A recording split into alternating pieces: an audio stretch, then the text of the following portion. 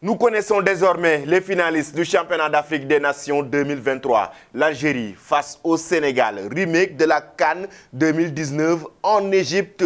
Les deux équipes vont s'affronter ce samedi pour une finale Bonjour chers amis téléspectateurs d'Afrique Sport TV, bienvenue dans votre revue de presse quotidienne. Comme d'habitude, que vous soyez au bureau ou à la maison, restez avec nous pour le tour de l'actualité que nous allons débuter avec la grande finale qui va se jouer entre le Sénégal et l'Algérie pour le championnat d'Afrique des Nations. Mais avant, on va ouvrir la presse algérienne qui a évoqué le match. Le match des Fenech locaux qui ont humilié l'équipe du Niger sur un score de 5 buts à 0. Comme vous l'avez vu avec nos confrères de DZ de foot en Algérie, Chan 2022, Algérie-Niger, 5 buts à 0. L'Algérie est en finale et la Gazette du Fennec nous dit demi-finale du Chan 2022, l'Algérie-Niger, 5-0 en trans. Et en finale, les Fennec locaux, les hommes de Bouguera, ont carrément humilié cette équipe du Niger. Ils ont montré leur suprématie face à cette équipe du Niger et le niveau était carrément élevé avec ces joueurs algériens locaux qu'ils ont montré. Un match très incroyable dans cette rencontre, que ça soit du début à la fin, sur le plan du jeu, le contenu, mais aussi sur le plan euh, de l'efficacité. Ils ont été efficaces devant les buts, raison pour laquelle ils ont battu cette équipe du Niger sur un score de 5 buts à 0. J'ai bien aimé aussi la réaction de l'entraîneur du Niger qui a évoqué le niveau de cette équipe algérienne qui dit que le niveau était carrément supérieur. Nous allons sur l'autre rencontre qui opposait le Sénégal face au Madagascar, le match qui a, euh, qui a été joué, l'autre demi-finale, après la rencontre face de l'Algérie et le Sénégal qui a décroché son ticket pour la finale de ce championnat d'Afrique des Nations. Un but à zéro, le Sénégal qui a battu cette équipe euh, malgache grâce à cet homme, Pape Mamadou Diallo, qui a inscrit ce but. Avec la tête, le journal Stade qui revient avec le Sénégal en finale contre l'Algérie. Mais en même temps, le, journal Record qui dit les Lions défieront les Fenech en finale samedi. Effectivement, ce sera la grande finale qui sera très attendue pour les Lions du Sénégal. Pape Mamadou Diallo qui a mis sa tête et qui permet à cette équipe du Sénégal, même si en fin de rencontre, ils ont beaucoup souffert dans ce match, mais finalement qui ont décroché la qualification des hommes de Pape en finale de ce championnat d'Afrique des Nations. Et la finale se jouera samedi face à l'Algérie qui est le pays, le pays organisateur. Voici le journal, le quotidien 8 Sport qui nous dit c'est fait, ils sont dans l'histoire. Effectivement, les Lions locaux sont dans l'histoire. Ils sont revenus 12 ans après. Ils se qualifient pour la finale de ce championnat d'Afrique des Nations pour décrocher euh, la qualification. Le, quotidien 8 Sport aussi nous, nous revient sur ce transfert. Le transfert qui crée actuellement beaucoup de polémiques. Transfert à Lyon, avorté, député.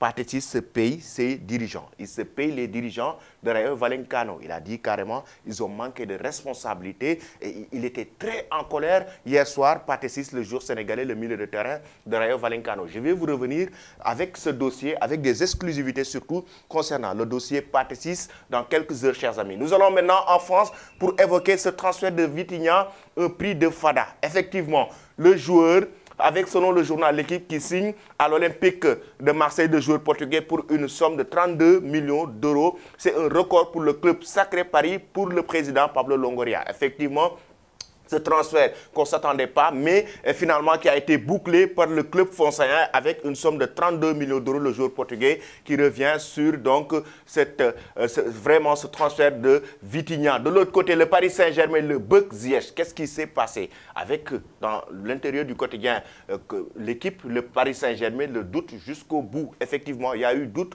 jusqu'au bout parce que Hakim Ziyech finalement n'a pas signé son contrat du côté du Paris Saint-Germain. Qu'est-ce qui s'est passé? Les Blues de Ont envoyé trois faux documents et ça a retardé la signature d'Akim Ziyech finalement qui a été rejetée par la Ligue de football professionnel. Et là, au moment où on fait cette revue de presse, la Ligue de football professionnel a donné son verdict. Akib Ziyech ne rejoindra, pas le club de la capitale française parce que le recours du PSG a été encore une fois rejeté par la Ligue de football professionnel. Et finalement, ce sera une grosse désillusion pour le joueur marocain qui avait envie de rejoindre son compatriote marocain Achraf Hakimi au sein de la capitale française. Et finalement, c'est quelque chose qui n'a pas été fait. Nous allons maintenant, chers amis, en Espagne pour évoquer la presse catalane, mais aussi le club catalan, le C Barcelone. Et là, ce joueur, finalement, il a été enregistré. Il s'appelle Gavi. Vous le connaissez certainement. Gavi, le milieu de terrain Barcelonais, très talentueux, très bon, n'a pas eu l'opportunité d'être enregistré dans l'équipe première du FC Barcelone à cause du fair play financier. Ce jour de 18 ans, finalement, qui prend le numéro 6. Et ça sera, c'est une grosse victoire pour le club catalan, comme l'a si bien évoqué euh, le journal Sport qui nous dit que euh, la signature de Gavi est une victoire pour Xavi et le club catalan et Mundo Deportivo qui revient en détail sur euh, cette signature de Gavi qui permet au Barça de l'enregistrer dans l'équipe première du club catalan et Gavi qui va euh, du numéro 6 de son ancien entraîneur Xavi Hernandez qui est l'entraîneur du club catalan, chers amis. Nous allons au niveau de la presse madrilène cette fois-ci pour évoquer Erling Haaland. Cette fois-ci, le journal AS qui donne la parole à l'agent d'Erling Haaland. Après le décès, paix à son âme, de Mino Raiola, l'agent d'Erling Haaland, Rafaela Pimenta, qui prend la parole et qui dit que Haaland coûte un milliard. C'est juste incroyable. Le prix fou d'Alan, évoqué par son agent, le club qui veut acheter Alan de Manchester City, va mettre sur la table un milliard d'euros. Mes chers amis, c'est incroyable. Un milliard d'euros pour acheter Alan. 1000 millions. 1000 millions d'euros pour acheter Erling Alan de Manchester City. Le, prix a été dévoilé par l'agent Rafaela Pimenta au journal AS. Du côté de Marca, c'est une fixation sur Eduardo Camavinga, la solution de Carlo Ancelotti, parce qu'Eduardo Camavinga est en train de compenser le gap sur le côté gauche du Real Madrid après la blessure de Mendy. Donc il est en train de combler le gap et Mendy est blessé pour des semaines. Eduardo Camavinga donc, est en train, il l'a il fait lors de la Coupe du Monde Qatar 2022 avec l'équipe de France et il l'a bien réussi aussi avec le Real Madrid. Et là, on dirait même que c'est son poste de prédilection, le couloir gauche, et il réussit bien, que sur le plan défensif, que sur le plan offensif, parce que c'est un joueur très technique, on le sait. Et là, le journal Marca nous dit que c'est la solution de Carlo Ancelotti, c'est la solution du Real Madrid après la blessure de Ferland Mendy. Chers amis, nous allons maintenant en Angleterre pour évoquer ce transfert. C'est une dinguerie.